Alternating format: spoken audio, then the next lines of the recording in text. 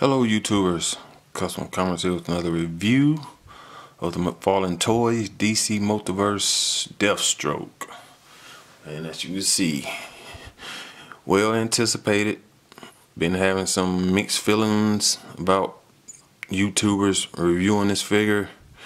A lot of people don't like it. You got some think it's awesome. So of course, we're gonna see how bad or how good he is I'll give you my opinion on him after reviewing him. And as you can see, he's in the box already, pretty effed up in a crazy, a crazy way. Wow, he's all twisted up. As you can see, 22 moving parts, McFarlane Toys, ages 12 and up, DC Multiverse, Deathstroke. Here is the calling card looking awesome. I do like the calling card. More figures in the wave. Okay, and this is Deathstroke, Batman Arkham Origins. And we just reviewed the Arkham Knight Batman. But they will still look good together. Okay? So let's get this guy out and see how he is. And here is Deathstroke all out of package. And I must say, he looks pretty daggone good. Now the way some of the accessories work or some of the accessories we'll go over is a little questionable on what he chose how to do it but overall the figure looks great and Deathstroke is awesome. I'm already thinking about doing some customizing to bring out more bring out the sculpt work more cause it's there. Just need some highlights in it. So yeah but as you can see I already gave him some eyeliner bring out that them eyes more. Well, that eye more. You know, made it look more like the calling card with the black around trim around his eye to separate the skin and the mask. Since they're both light colors, gold and the skin tone, thought I'd do a little trim to separate the two. I think it came out pretty good. But yes, man, he's looking dope. Let's look at the feet, all that armor the backside, the pockets, his shells, all that looks good, man. And of course he has a gun in his holster, which you can't remove. I know a lot of people hate that. So, but it doesn't bother me. That doesn't bother me at all. This thing is dope. And I heard a lot of people bash this figure, man. And I can honestly see what on their side of things, but my side of things, I'm looking at 19.99. I still think it's a lot for the price you're getting it for. Okay, so let's take Deathstroke here, and we'll go over his accessories okay. And this is the well the base okay? Standard base as you see. You get a calling card. Looking good. Okay. There is a read up you can pause that. Read it you like. Okay. This is the picture. I, I do like that picture. Nice calling card. And this is a little bit in question right here. I'm going to show you this right here. The sheath. Very soft plastic, rubber, whatever you want to call it. Very soft. But it's it's not solid. It's like you cut it shit. It's like you cut it in half. Make sure show you guys this. You get a good understanding. And the way you put the his katana or sword in is pretty crappy if you ask me. You see you put it here and you have to sort of mash it in the groove. Which that's crappy, man. Well, first, before I show you how to put it all in, let's look at the sword, which is real soft. It's, that really don't bother me that much. Uh, it's just some stuff in question though. But as you can see, nice detail on the handle. I can just see why there are people complaining. But, okay, in the sheath, you'll put the sword in this groove like that and you have to sort of mash it in the groove okay? So you're still gonna see this from even when you put it on its back side it, now looking on the back you will see it like this but when it's like on here like this you're gonna see the sword. So let's stick this inside of here as you can see. It'll go inside this right here. You see that. We'll stick that in there like that. And it has a peg in its back and this what goes in right here okay? That doesn't stay in. I'm gonna tell you. It, it pegs in right there.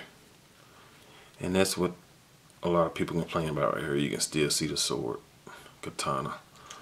You can still see it like that. Instead of making a solid sheath but over it still doesn't it's still cool with me because I still think you're getting a lot for the money. Even though you got weapons that doesn't you can't remove like grenades stuff like that. I still this is a dope figure man still. And yes he has the ratcheted joints. And on another video I'll show you guys the ankle joints because I did take apart a figure and took the, the ankle joint out the uh, hinge and took it apart. And I can show you I'm gonna show you guys what I'm talking about with that ratchet them ratchet uh, joints. I'm gonna show you exactly what the problem is about that them hideous joints man. But yes overall this guy's it, it's sculpted.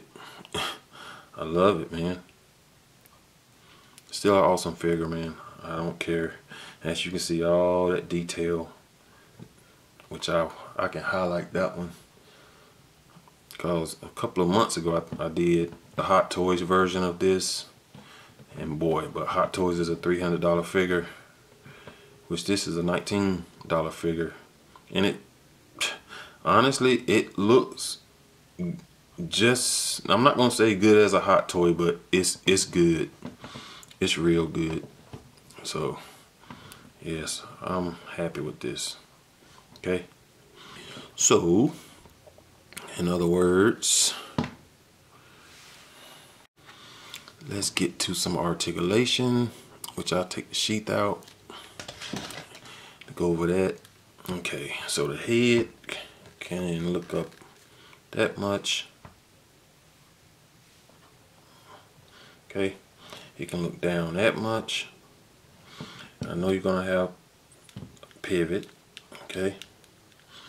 And the same as Arkham Knight Batman this Arkham Origins Deathstroke you don't have upper torso. And you got waist though okay? And uh, I've seen where people complain when you bend the waist or stomach down, it blocks. It's hitting the leg where you can't put the leg up. If you go back, then you can go up with the leg. That's a question. Uh, that's something to question about this whole thing too. Okay, so if I bend this uh, forward, which uh, maybe I should have heated, and it does have ratcheting joints going to side side. Okay. You can go back a little bit. Okay. Uh, you go forward that much. It's not bad. That's not bad at all. But when you go forward I think this is going down hitting the legs. And well they still go out to the side. Let me see Yeah. What the fuck, man? It's still doing good.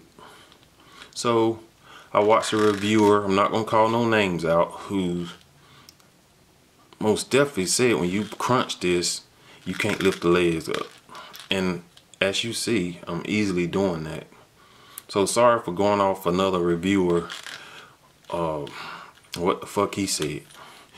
We gonna look at it. We doing this thing. Custom Comics and us. We doing this thing. Okay? So the legs can go out that far. Okay? Not bad. And as you saw, crunched over and everything, his legs still go up. So I think somebody was just hating on the figure. He got double jointed knees, which he's real bulky, so you're not gonna get a true uh, bend, double joint bend, but it's still good. Okay. Uh, do you get any swivel? Very little. Okay. The arms, I'll do this arm since I got the shells, but you can still lift these shells up like that. So you can still go up pretty far. Still, even with the shells. So look at that. This thing is so dope. And I like it even more since I'm proving somebody else. I don't like proving somebody wrong, but you know what I'm saying. I mean, it easily, his legs kicked up while he was crunched, crunched over easily. Okay, shoulders go up that much. You can go do full 360. And just like Arkham Knight Batman, these pads, his shoulder pads, are connected to his uh, bicep. Which you get a true bicep swivel. Okay. And you get double jointed elbows. I need to break that one loose. Haven't broke that one loose yet. Let me see about this one. Yeah, that one's broke loose, as you can see. I just need to heat this one. Ugh. Don't break it. Okay. And just a note, I did have to throw heat to this leg because like you seen in the package, it was warped bad. I guess by being in a package like that so long. So I did have to throw heat to this leg to straighten it out. But now he's good. But yeah, this Deathstroke is, he's nice. Nice. Uh, other than the ratchet joints, but he, he still stands pretty good, be honestly, be honest with you. Okay, so this is real soft. As you can see all the definition in the backside. Okay, let's lighten this up a little bit. Okay, I love this thing is sick. I like the the like gunmetal look here. He's dope, man. He's dope.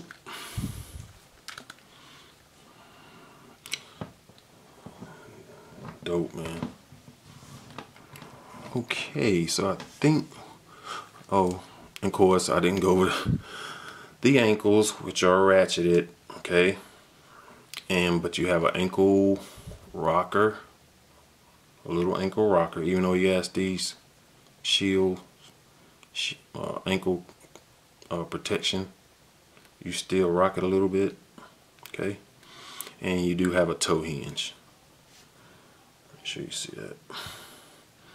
So, I'm very happy with this purchase very happy. I still think you're getting a lot for the money. Yeah, you can't you can't beat the prices of what McFarlane selling these things for.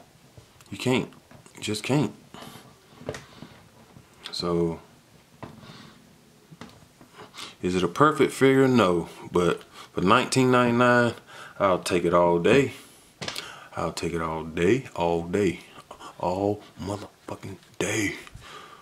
All right, we're gonna put his sheath and katana in peg that in right there. And we're gonna do a height measurement on this guy. Get him standing good. Deathstroke is ready to kick some Batman ass. Okay. Let's get him standing back here. And this thing is dope. Dope, man. And you have a ball hinge wrist. Sorry about that. You do have a ball hinge wrist. Okay. So I'm a little excited for getting a little bit of stuff. I just want to explain, make sure I explain stuff to y'all. Boy, I seen some people hating on this figure, man. Alright, so Deathstroke will stand about seven inches tall or a little bit over. Okay. And it is time for some size comparisons. And to show you how the sword looks in his hand, I'm gonna tell you now the hands are not as soft pliable as you would like. And this sword handle is let's see it's pretty thick. Okay so let's try to open up his hands I might end up warming them and that's what I'm gonna do because I'm gonna either scrape some paint off or mess up something okay be right back and as you can see, he holds the sword just fine. He can hold the sword. It's like I said, I had to warm him up to get the sword in his hand. But yes, he does hold the sword fine. And as you see, he stretches his legs out pretty far too. I said, knowing what you're working with, with them um, ratcheted joints, I mean, it's doable. And most definitely, this is not a perfect figure, but for the price, I'm most definitely happy with it. Okay.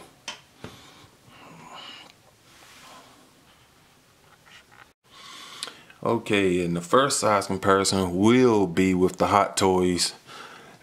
And I'm gonna tell you, like I said, yes, Hot Toys is Hot Toys. You get the crazy, crazy detail, man, but you're gonna pay for this one. You're gonna pay for all that. You know what I'm saying? $19 figure beside a $270 figure. Okay? It's, it's, God, can't get. And honestly, looking at the Hot Toys, I like the shape of the head on the McFarlane better because I've heard complaints on the Hot Toys too that his face looked a little too narrow. And looking at it now,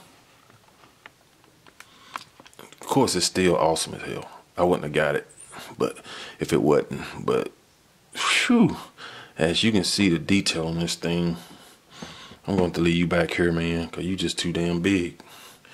It is awesome, but look at this.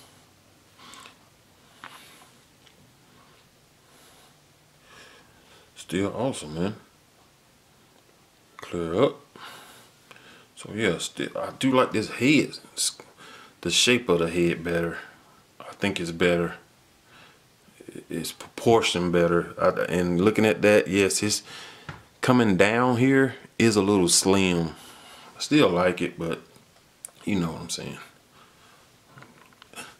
Almost $300 figure, $19 figure. So, very awesome still. Okay. And here he is with the Arkham Knight Batman that we just did a review on yesterday. And they're looking awesome together. And Batman might be a little bit taller as he should be, I believe. Okay. Awesome. And here he is with the Build-A-Figure Merciless and the Infected Superman. And boy, they all look good together. Merciless is a whole lot bigger, and I believe Deathstroke is a little bit taller than Superman. Okay, awesome. And here he is with a NECA Lab Escape Predator. And as you can see, Predator is towering over Deathstroke, but I still think that looks good. Okay. And here he is with the SH Figuarts Infinity War Hulk. Looking awesome. The Hulk towers over him. Deathstroke. Okay. And here he is with the Mezco BVS Batman, the regular version. And as you see, they're not in scale. True 6 inch, true 7 inch. Okay. And here he is with my favorite Joker figure, Joker Rebirth. Looking awesome. As you can see, they are standing about the same height. And here he is with the Marvel Legends series MCU cable, which he towers over, and the Storm collectible Tyson, the last round version. And he is a little bit taller than Tyson. Okay. And here he is with the large Devastator. And Devastator is most definitely taller, bigger. Okay? But I think looks good together. Would have been a little bit better if Devastator was a, a little bit taller, but still looks good. Okay? And here he is with the Grim Knight Batman. And I think they look awesome together. I think they looking about the same height. Still one of my favorite Batman. This this thing is so dope. And last but most definitely not least, the Super 7 Lion-O. And I believe he is standing a little bit taller than Lion-O. Okay. So guys, my final thoughts on this Deathstroke is from a scale 1 to 10, I'm going to give him a 9.5. That's only because the sheath, how they split it half like that where you can still see his sword from the back. Like, But other than that, this thing is dope, man. Dope. And some reason he stands better than Batman with them crazy ankles. But this thing is so dope. Very awesome figure okay alright everyone. Well if you got any questions or requests hit me up in the comments hit me up on Instagram and I'll be sure to get back with you okay? Alright everyone. This is Custom Comics signing out. Take care. God bless. Peace